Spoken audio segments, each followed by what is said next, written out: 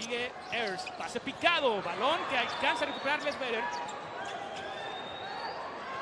Siete segundos. Viene Jeffrey.